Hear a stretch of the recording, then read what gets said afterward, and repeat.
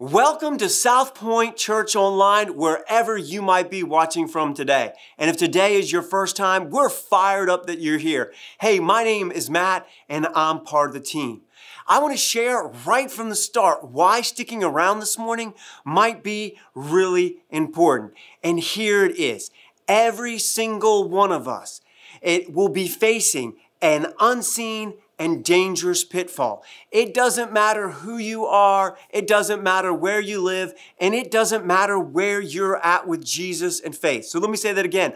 All of us, myself included, you are facing an unseen and dangerous pitfall. And here's what I know this is regardless of who you are. It doesn't matter whether you're a guy or a girl, you're rich or poor, it doesn't matter the color of your skin, the amount of money in your bank account, or your education. Literally, every single one of us is facing this. And it doesn't matter where you live. It doesn't matter whether you live in our local county here in St. Mary's or in our state of Maryland or anywhere in the U.S. This applies to everyone in the world, no matter where you're watching from. And it applies regardless of your faith. Whether you show up today with no faith and you're kind of exploring this, or maybe you grew up in a home that had a different faith, or maybe you've been a follower of Jesus since you're a little kid all of us, every single one of us, is facing an unseen and dangerous pitfall that has the ability to impact every area of our life. That's why today is so important. And here's how we know we're about to face this pitfall. And I'll put it up on the screen. It's this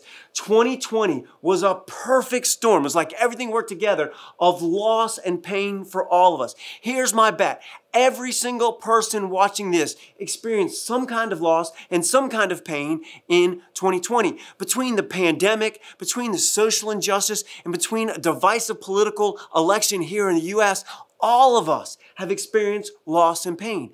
I mean, when we went into lockdown and we've gone from lockdown to open to lockdown in this pandemic, we've all experienced loss. I mean, some of us experienced the loss of a job, maybe even the loss of a business. For some, we experienced the loss of a vacation or the loss of a dream of watching our kid uh, walk across the stage and get their degree, whether it's at high school or college. For some, you had a dream of a wedding this past year and it looked drastically different. You experience loss.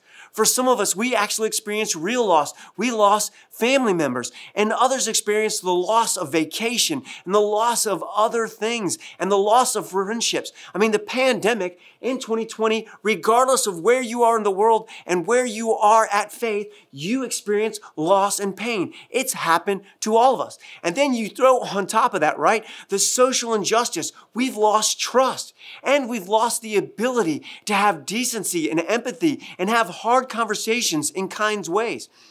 And don't even get me started on the political di- division where we literally lost our minds, right? I know people that have lost friends and relationships over that. And so here's what I know to be true for you, and I know it's true for me, is that 2020 was a perfect storm of loss and pain for all of us.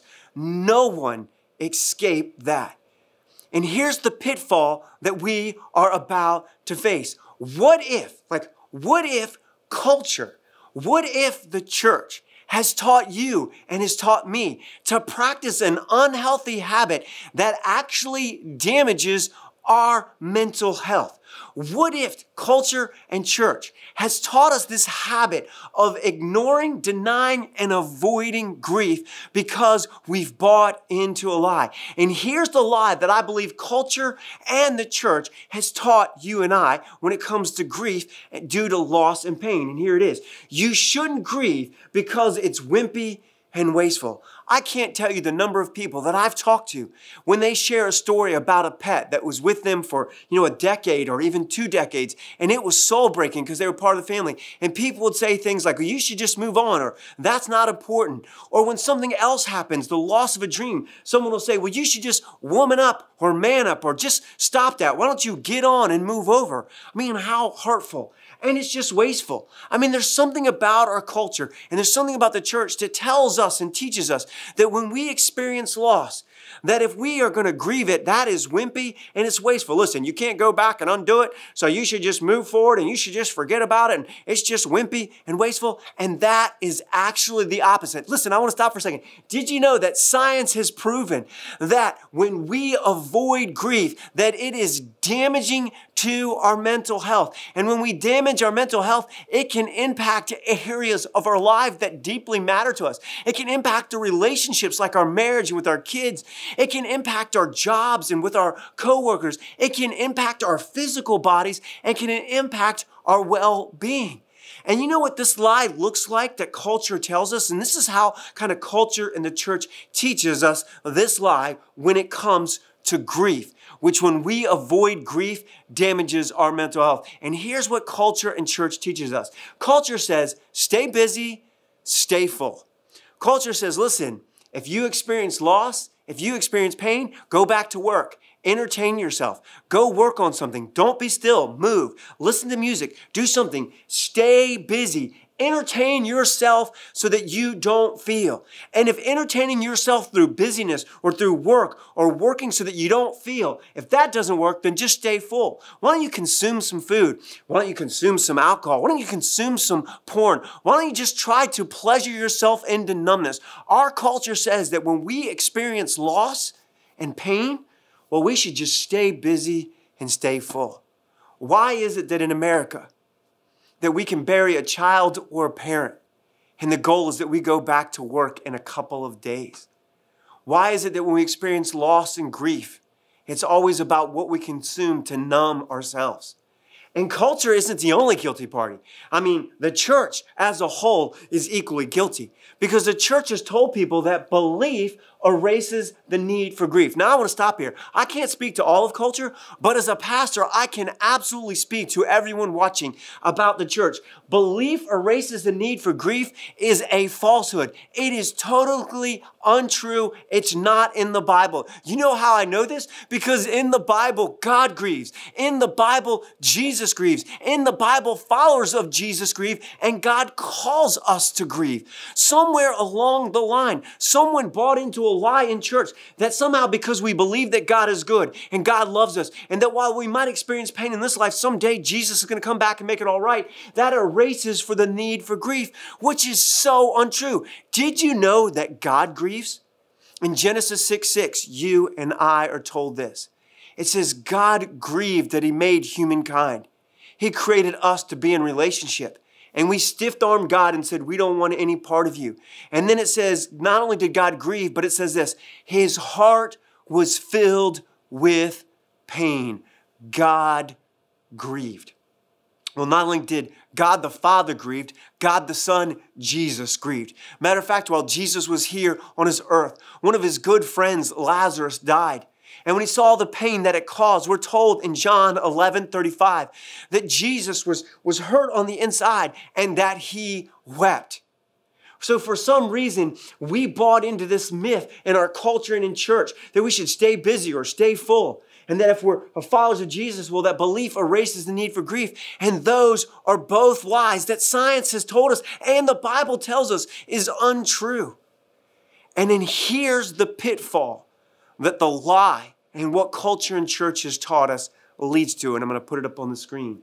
Avoiding grief is an American pastime with devastating mental health consequences. Avoiding grief has become a pastime in our world where we stay busy, we stay medicated, and we ignore and avoid pain because we religify and do all these other things and avoid grief but it creates devastating mental health consequences. And you know what? I know this to be true before I knew Jesus, and it was true after I began to follow Jesus.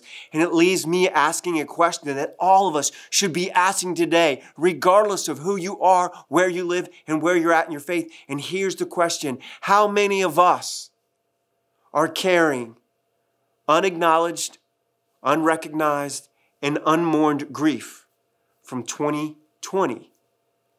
Into 2021 that might be an unseen pitfall that creates damage in our life in areas that none of us want. Now, before I go any further, I want to bring everyone up to speed. Hey, we're in week two of our series. It's okay to need Jesus and a therapist. And this whole series is based on two truths. Now, last week, we had to debunk four lies that people believe in culture and in church about mental health. If you missed it, you got to go back and watch that. But I want to today remind us of the two truths that this whole series, It's Okay to Need Jesus and a Therapist, are all about. And here's truth number one that we talked about last week using spirituality to ignore how God holistically made us not only is wrong, it's harmful. Listen, God made us spiritual, emotional, physical, and mental beings. When we kind of use spirituality to ignore how God made us, that isn't only honoring spirituality, it actually harms us. And so you might want to go back and watch that. But out of this, here's the other truth that we admitted, and it's this it's okay to not be okay. I want to stop for a second. If every single one of us experienced loss and pain in 2020, then it's okay today to tell your spouse and to tell your friend and to tell yourself and to tell God. It's okay to not be okay. It's okay to grieve the losses that you and your family have experienced and to acknowledge that that pain is real. Because God cares about all of who you are. He cares about you physically. He cares about you spiritually. He cares about you mentally and emotionally. If you're watching today and you missed last week, I really want to encourage you. You can catch up on our website or you can uh, go to our YouTube channel and you can watch on demand there. Now, back to the problem that we started with. It's this unhealthy habit that we almost all of us practices that damages our mental health. And here's what it is. We buy into the lie. We avoid grief because we think grief is wimpy and it's wasteful. Now, here's why. Now, listen, I know that sometimes you watch this with kids or listen to music, and I, I need everyone to listen in because you, you need to hear this. So just stop for a second and listen. Here's why that lie is so devastating. Are you ready? And here's why. Because in the real world, and if you really try to love other people, loss is unavoidable. Let me say that one more time. If you are going to live in the real world, if you're going to try to experience genuine love, then all of us, regardless of who you are, where you live, and where you're out of faith, you will experience loss and pain. It's unavoidable. The only way to avoid the pain of loss is to close yourself off and wall yourself off and shut people out so that you are not close and you don't care about anyone but you. And then you numb and medicate your life through consumption. And here's the question. If no one knows you and you don't love and you don't care for anyone and no one loves you and you numb yourself through life, is that really living? And we know the answer. That's why this lie that grieving is wasteful and wimpy is so devastating. Because if we go through real life and we choose to try to love, real life and real love include loss and pain. It's unavoidable. Which leads us to a truth that God has told us, and it leads us to a truth that science tells us. And I'll put this truth up on the screen. It's this the natural response to loss is grief. I mean, that's what happens. God built in something into the human body, to our emotions, to our mental, to our physical body, to our spiritual body, that when we experience the pain of loss, we have a process that helps us not, you know, kind of move on, but move forward. God gave us the gift of grief. I like how counseling today, they wrote an article and they said there are many kinds of loss. I have a friend who was trying out for this job in the military and they were told they would get it. They were physically fit and it was this special thing that they wanted to do. And in this one test, they were about a minute and a half off from reaching the goal. Matter of fact, he so impressed his commanding officer that he gave him a second chance to do this, but you had to qualify. And he missed the time again. And all of a sudden, he experienced the loss of a dream. He couldn't do that job. There's all kinds of loss. What about the person, the girl who tries out for a team or for a sport because that's what she wants to do, only to discover that she doesn't have the physical talents to do that? What about the, the young kid who dreams of like being something, doing something uh, in kind of an education field, but uh, discovers that's not a strength of theirs? What happens when we experience this, this loss of like, we thought our kids would be something, and when they get older, they make decisions, and we experience this loss of a dream of who our kids would be. The loss of a marriage that ended in divorce and betrayal. The loss of a job, the loss of promotion. For some of us, it's the loss of health. I mean, counseling today said it so well the natural response to loss, and there are so many kinds of losses that go unacknowledged and unrecognized and unmourned. But grief is the natural response. And when we avoid grief, we damage our mental health.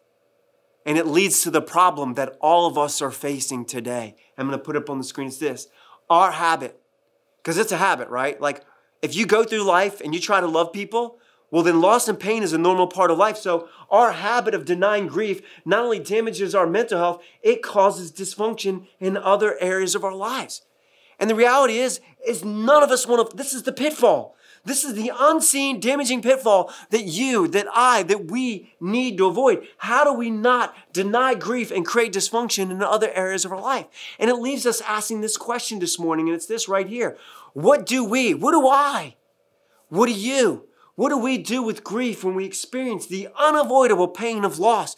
Because if you're going to live in the real world and if you're going to try to love people, then loss and pain is unavoidable is the lie of culture of staying busy and staying full, as the lie of the church that belief erases the need for grief, all that we're left with.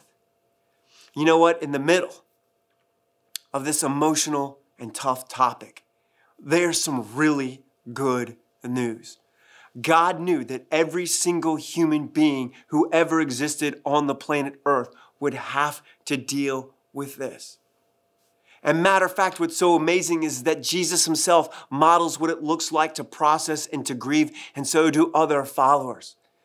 But God absolutely speaks to this. And I love what God has to say about this in the Bible. We find it in Proverbs. And I just want to stop for a moment. And if you've experienced loss and you have undealt with grief, I just want to share these words from the heart of God this morning. It says this The Lord is close to the brokenhearted did you hear that? He is close.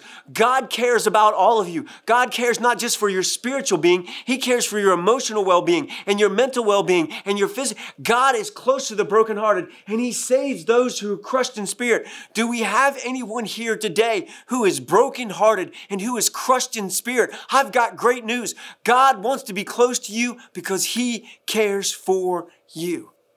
So here's what I want to do today. I want to briefly share four starting, they're just starting, four starting steps to processing grief. Now, it's confession time, and this is really embarrassing as a pastor, but I don't ever want to pretend to be somebody that I'm not. I want to be true. I spent my whole life avoiding grief. I was never taught growing up how to deal with grief, and I surely wasn't taught in the church how to deal with grief. Matter of fact, most of what I'm going to share with you today, I learned the painful way of going through it and hitting my head against the wall. And in most of these four steps, well, I still have room to grow in all of them. And so I just want you to know as I share today, I'm not sharing as an expert. I'm just sharing as someone who's on a journey just like you. And so here's the first step that you, that I, that we can take so that we don't damage our mental health, so we don't create dysfunction in our life, so that we don't avoid grief, that we process grief. So that not that we move on, but that we can move forward. And here's step number one is allow yourself time and space to feel. And as soon as I say that, I bet many of you in your heart right now feel fear. Whoa, whoa, whoa, Pastor Matt. What do you mean allow yourself time and space to feel?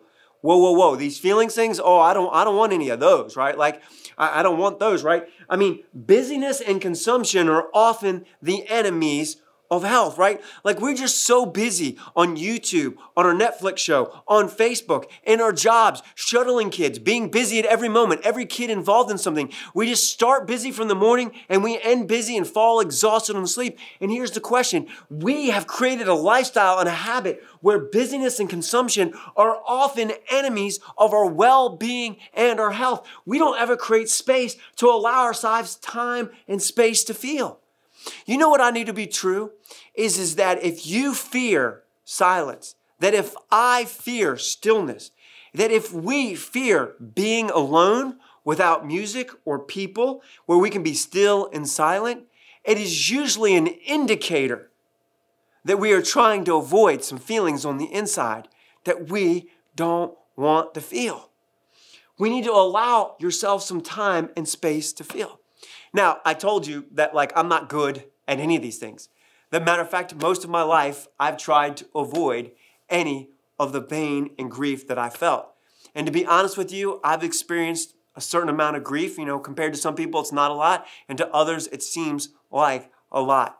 It was kind of funny and appropriate as I was preparing this message. I was trying to figure of a time where I actually allowed myself some time and space to feel, and I couldn't think of any.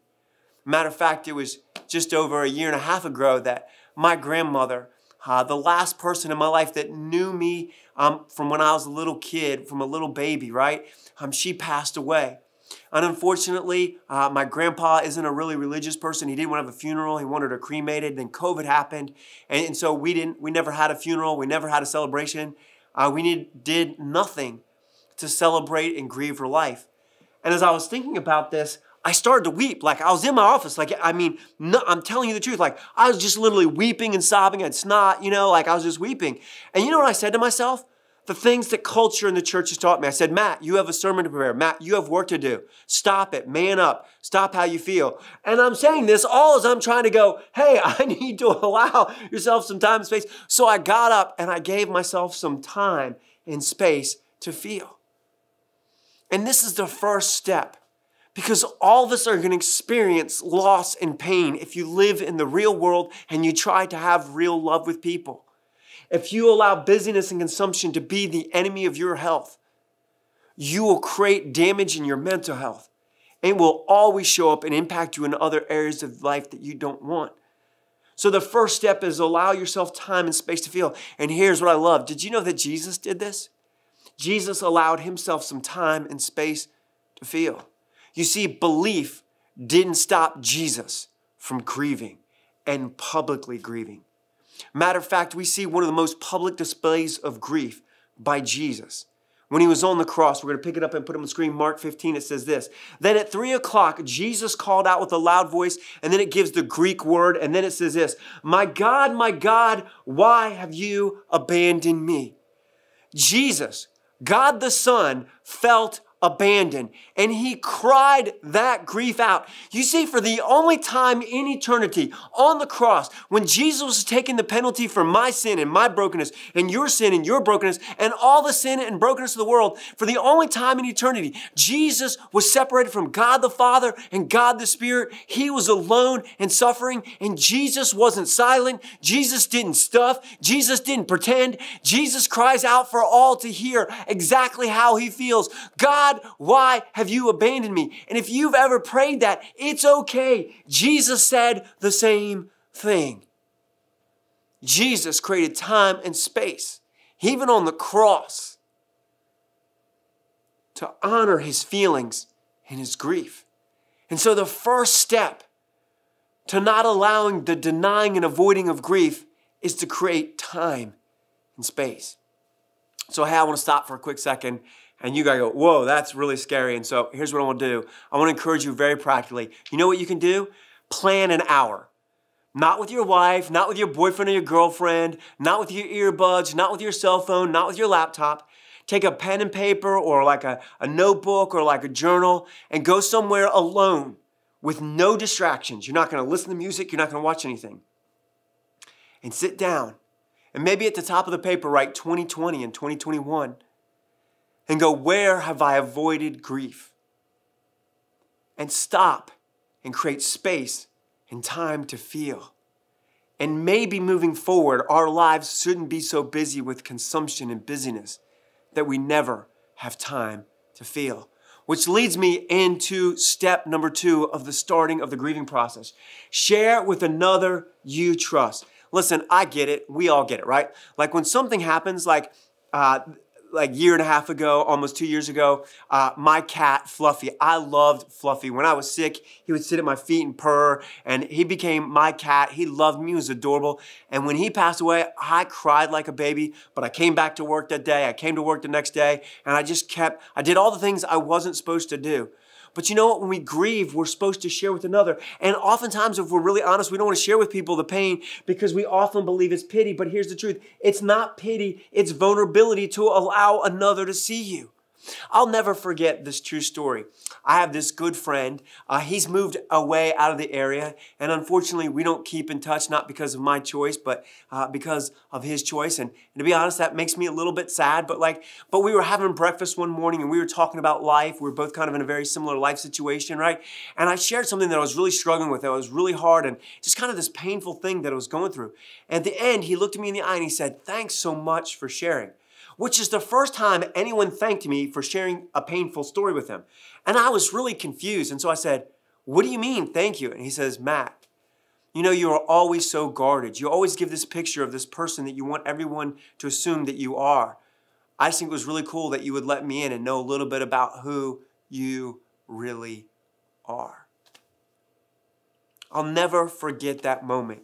It was a true gift from my friend to let me know that when you share pain, it's not about getting pity, it's really being vulnerable and allowing another to see you when you're hurting and to go, I am not going to pretend to be something that I'm not. I'm going to allow you to see me as I truly am. And listen, share with another you trust. Now, the reason I said trust is because the truth is, in a busted world with flawed people, you shouldn't always share all of your pain with people who you can't necessarily trust with it. So you need to find someone that you trust to share your pain with. For you, it might be a spouse. And I want to stop for a second. I want to talk to guys for a second. Listen, I know that there are generalities and stereotypes for, for reasons, and, and I believe, you know, that they're just that, they're generalities, that there are guys and girls who all feel different. But for some reason, most men believe that they can't share their pain with their wives because they don't want to burden them.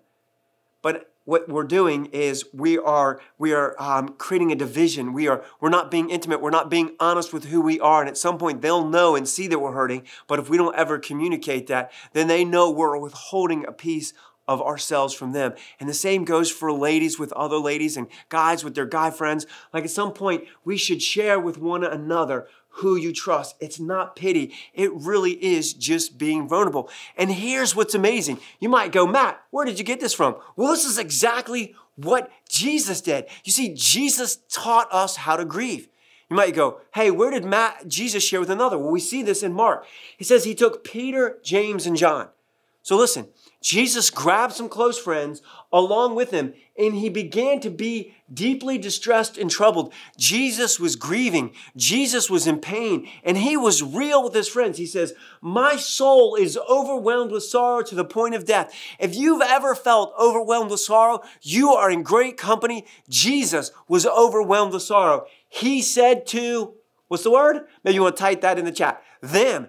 Jesus shared with Peter, James, and John, his posse, his little crew. He shared with them personally what was going on in the inside. He knew the suffering. He knew the betrayal. He knew the abandonment. He knew the despair that he would feel being disconnected from God the Father and God the Spirit for the only time in eternity. And he didn't want to just keep that on the side. He shared that with his friends. My soul is overwhelmed with sorrow to the point of death, he said to them. Stay here and keep watch.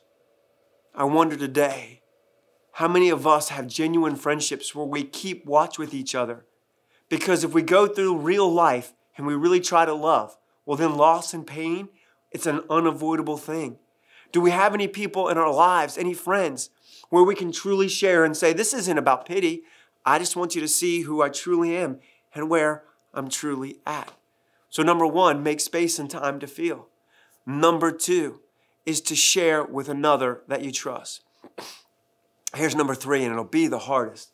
Getting help is not weakness, it's wisdom. You see, there's a lie that has been passed around in culture and church, and it goes like this Time and wishful thinking cause healing, and nothing could be further the truth. Time and wishful thinking don't cause healing. All wounds don't heal with time. You know what causes healing? The process of getting healed causes healing. Trying to forget about it, trying to like consume your way out of it, that doesn't work. Time and, kind of ignoring and pretending don't actually cause healing. Actually, going through the healing process does. So getting help isn't weakness, it's wisdom. You see, at some point in our life, all of us will experience a loss so painful that we will need help. Let me say that again. All of us. I don't care if you're a guy or girl. I don't care if you have no faith or you've been a follower of Jesus since you're a little kid. I don't care whether you live in America or a different country. All of us are going to experience a loss that is so painful that at some point we will need help. And that's not weakness. That is wisdom. Listen, if you and I get stuck in a place where it just harms ourselves and harms other and we don't get help, that is not strength. That is stupidity. Let me stop and say that one more time, right? Like if you and I are stuck in a place that hurts ourselves and hurts others, right? To stay there isn't strength. That's just harmful. That's just dysfunctional. At some point, we'll experience loss or pain in such a way that we are going to need help. You know me and my love for true examples and true stories. I have a friend uh, here locally in the community. Uh, years ago, uh, there was a hurricane uh, that came through our local county. It was a pretty powerful hurricane. And matter of fact, this friend of mine, he lived in this place where not only did the hurricane come through, but they believed uh, that there had been like a little mini tornado or like a wind impact because it literally looked like when you went to his house, um, there were trees all around, that a bomb went off and blew, I mean, trees were literally just blown over. I mean, it was one of the most amazing things. I mean, it hit his house, it was all over. I mean, it's just one guy had a, you know, he had four, four kids and it was just him and his wife. There was no way in the midst midst of that damage that he would be able to solve that problem all by himself. So you know what happened is, is all of his friends came and they what? They helped him because the damage and the destruction and the trauma was so big that he couldn't do it by himself. And I want to ask you a question on the other side of this camera today. Have you experienced a loss or pain that actually needs some help because it was so powerful that you really just can't walk through it by yourself. And you shouldn't. And you know, here's what's amazing again. Do you know that Jesus actually got help? And you might go, when did Jesus ever get help? Because I mean, like he's Jesus, right? Like, I mean, when, when did he ever get help? Well, we see this in the eyewitness account of the gospel. We're to actually put up on the screen. It says, when Jesus saw his mother standing there, now I need to stop. Jesus is up on the cross. He's about to die and then he's going to conquer hell and death and he's going to go back to heaven but he's going to leave his mom here on earth. So jesus does something pretty amazing. Jesus saw his mother standing there beside the disciple he loved. We believe that's john. And then he said to her dear woman here's your son. And then he said to his disciple here's your mother. You see in ancient times if you had family members and you were going to pass away, oftentimes the mother or, or the wife, you would ask a relative to care for because you had provided for. So here, Jesus is asking for help. He's asking the disciple to care for his mom. He's going, listen, I'm about to die. I'm about to conquer hell and death. I'm about to go back to my heavenly father, but I need your help. Would you take care of my mom here on earth? Would you do that for me? He asked for help. And at the end of this message, SouthPoint has some practical ways that we want to provide practical help for anyone who needs it. And so I hope that you stick to the end. And I'm coming to the last step. And again, these are just starting steps to grieving, but, but here's the last one, and it's one of the most important ones I'm going to put on the screen. Endure instead of trying to escape. Now I want to stop here for a second and just be brutally honest and transparent. I spent most of my life trying to escape the pain that comes with grief. Before I knew Christ, my escaping came through drugs, alcohol, sex, harmful ways. Like I just, I tried to ruin my life. Um, in recovery, we used to call it suicide um, in the installment plan. And then when I became a follower of Jesus, I realized that hurting others and hurting myself in those kinds of ways weren't good. But then I just decided I would be busy and, and just kind of hurt myself a little bit later by denying that pain. And so trying to escape isn't really good. At some point, we're just going to need to endure instead of trying to escape. And here's why this is so important facing pain hurts. Like, I'm not gonna lie to anyone here. If you take time to make space and time to feel, it feels bad. It hurts. When you have lost, it hurts. And it's always proportionate to how good or how much you love that thing or how big that dream was or how much that mattered to you. It's always proportional. So the greater the loss, the greater the hurt. I'm sorry, facing pain hurts. I wish I could lie to you and tell you that because you love Jesus or because you watch this message, that somehow as you grieve, you get to avoid pain. It's not true. Facing pain hurts. But the dysfunction of avoidance hurts more. Did you catch that? You and I can ignore and avoid the pain of grief, but all we're doing is creating more pain later because we're going to experience dysfunction in areas of life that we didn't want. So we have two choices. We can pay the price now, which will be way less than the dysfunction and the pain later. At some time, we have to endure instead of trying to escape. You know, I know I don't look it, uh, but before the pandemic, uh, my hobby was to powerlift. And powerlifting is a weightlifting sport. It's where you squat, you bench, and you deadlift. And when I would tell people that, you know, that was kind of my hobby, that I would squat, bench, and deadlift, and I would tell them the weights that I could do, they were like, whoa, whoa, whoa, you better be careful. Don't you know that you're gonna hurt your back by deadlifting? Don't you know that you're gonna hurt your back by squatting? And then I would have to, I'd kind of laugh and go, hey, did you know that before I started deadlifting, benching, and squatting, you know, I sit a lot for my job. I'm a pastor. I come in early, I pray, I read, so I'm sitting, you know, and then I lead and have meetings with staff. I'm sitting. And then I meet with people and I'm sitting. And then I answer emails and I'm sitting. And then I go home and I sit. And so, like, listen, I used to have back pain because I didn't really exercise a lot. And I would always tell them that like my exercising of deadlifting, benching, and squatting actually strengthened my back. And I felt less back pain while I was exercising than I did when I wasn't. Here it comes. When you exercise, it's uncomfortable. Exercising doesn't always feel good. And sometimes when you exercise hard, you're sore the next day. But here's what I know the uncomfortableness of exercising saved me the pain of dysfunction. And that is God's gift of grief to you, to me, and the world. Grief is the exercise that is uncomfortable, that saves us from the dysfunction of stuffing and ignoring the pain of loss. Because at some point, we're going to experience the pain. It's either the pain of grieving or the pain of dysfunction. And I can promise you, you'll never want to experience the pain of dysfunction. So at some point, we just have to endure. Loving means you're going to experience hurt. Living in the real world means you're going to experience loss. It's just a part of life.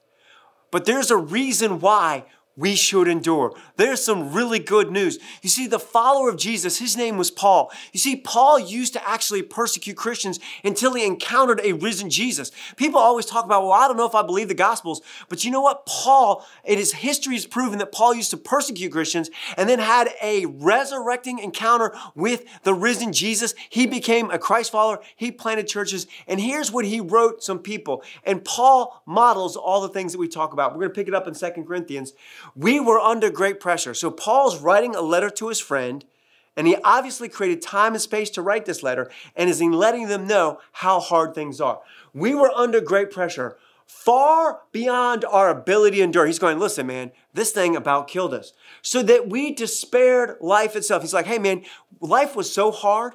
Like the real life and loving people, man, it, it was hard. So much that we despaired life. Indeed, we felt like we had received the sentence of death. Sometimes when you love people, sometimes as you go through real life, it is busted, it is broken, and it just causes despair.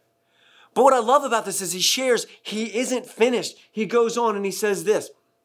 He says, But this happened, but that we might not rely on ourselves, but on God who raises the dead.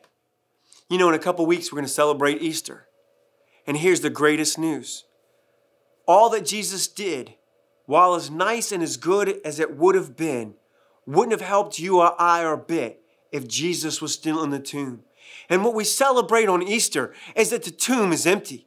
That Jesus said what was going to happen, and then he conquered hell and death. And on him, we have set our hope that he will continue to deliver us. You see, the reason that you, the reason that I, the reason that Paul, and the reason that Jesus endured is because we have a hope in a God who has the power to do what we cannot do.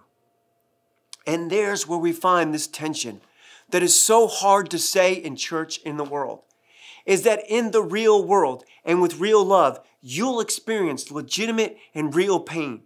The kind of pain that you can't move on from. I had these good friends. They lost a child. I've had good friends who've miscarried. I've had good friends who've experienced horrible atrocities. I've experienced friends who've had health issues. In this world, Jesus tells us you will have trouble. In this world, we can grieve and admit that there is pain and brokenness. That pain and grief are a part of our story. So we don't move on, but we can move forward. Do you want to know why? Because it's not the whole story. You see, there's a day where God is going to come back and he's going to fix all that is wrong and he's going to make all the things that are busted right. We can have hope not in some false thing, but in a risen Jesus who conquered hell and death. If I was going to sum it all up, you know that we should make time and space to feel that we should share with another that we trust, that we should get help when we need it, that we should endure instead of escape. I would I'd sum it all up in this statement right here, and it's this God given hope because the tomb is empty, because God loves us, and because God is close to the brokenhearted. And he saves those who are crushed in spirit. God given hope allows us to embrace the grieving process while it's painful in the moment, it saves us from the pain of dysfunction later. The God given hope allows us to embrace the grieving process instead of avoiding it. As I close, I told you the truth. I've experienced some pain. You know, I was nine years old when my mother completed suicide. I was probably 10 or 11 when I was sent to a counselor who was a child molester was 12 and a half when my dad took me to the police station and said, I hope you got what you wanted. I wasn't even 16 when my dad says, We disowned you. My wife and I have experienced a miscarriage. We've had immediate family suffer some really, uh, some, you know, hurtful uh, health issues. Like, uh, I've experienced loss. Like, I, I get it. Like, loss is painful. And I've spent most of my life avoiding grief. And here's what I did before I knew Jesus I just medicated my life. I just decided, you know what? I was going to party like there was no tomorrow. And I was just going to close myself up. I wasn't going to care about the world or anybody else. And I was living my life just for pleasure. Basically, just a dead man walking. And I can tell you from experience that isn't life. Jesus said, I came that you might have life and life to the full. But then when I became a Christ follower, I went to church, and it was a good church. But it was a church that kind of just kind of lifted up spirituality and ignored all the rest of us. And no one ever really taught me how to grieve when you experience loss. So instead of staying busy I just, and, and consuming, I just I chose busyness. I just chose work. I just chose that I'm just going to work through all this pain. And I can tell you that it created dysfunction in my physical body, it created dysfunction in my relationships. And to be honest with you, I'm still figuring out how to process grief. But I know this avoiding grief only damages our mental health and it only creates dysfunction in other areas of our lives that we want to be well. And so at SouthPoint, those words of God that He's close to the brokenhearted, that He saves the crushed in spirit, the words of Jesus that I came that you might have life and life to the full, mean that we need to address grief because no one, regardless of who you are or where you live or where you're at in faithfulness or faith, will miss out on loss if you live in the real world and try to experience real love. At SouthPoint, we don't want to just give you steps. We want to provide resources. I'm going to put this up on the screen. Hey, if you're watching today and you're overwhelmed with grief, I, I apologize. I'm not a professional counselor. There are no professional counselors on staff. Uh, there's a hotline number that if you need to call or text, if you feel overwhelmed with grief and sorrow and, and just aren't able to make it through today, like there, there's some immediate help that, that you can access. If you're here today and you're going, man, like, how do I take steps with grief? Maybe you're going, hey, I need some help. I realize the loss was big and that I need help. And SouthPoint has a budget that we've set aside to help people get counseling. And so we have a process which you can meet with a pastoral staff person. And so you can go to southpointforyou.com um, backslash uh, slash time to talk and you can sign up for an appointment with uh, one of our pastoral staff. And then we might be able to connect you to resources like professional counseling or like our Stevens ministry who are Stevens ministers who aren't professional counselors, but they are people who can walk alongside you in difficult seasons or celebrate Celebrate Recovery or small groups. We really want to help you connect them. So there's the website right there. You can go there. You can sign up for a slot. And listen, if you've been watching this, uh, please, we have several weeks uh, coming up later. We're going to talk about things. But we are going to have one of these weeks of the series. We're going to have some professional counselors where we're going to ask submitted questions and the counselors will ask, answer those um, on the message. So if you have any questions, please submit them to church at southpointforyou.com. Hey, you are going to not want to miss next Sunday. You're not going to miss it because we're going to tackle the number one enemy of mental health. So you're not going to miss it. Hey, let me pray for us. Heavenly Father, thank you. Thank you so much, God. God, that you showed us how to grieve and that just because we believe doesn't mean we can't grieve. Thank you that Jesus showed it what it's like to grieve. And God, that even in your heart, it was filled with pain. God, that you are willing to step into the real world for real love, and that if we step into the real world and real love, that that loss and pain are unavoidable, and you've given us the gift of grief. God, I pray for whoever needs help that they'd be willing to take steps to get help. Because Jesus, you came that we might have life and life to the full. This is our prayer in Jesus' name. Amen. And never forget, you matter deeply to God.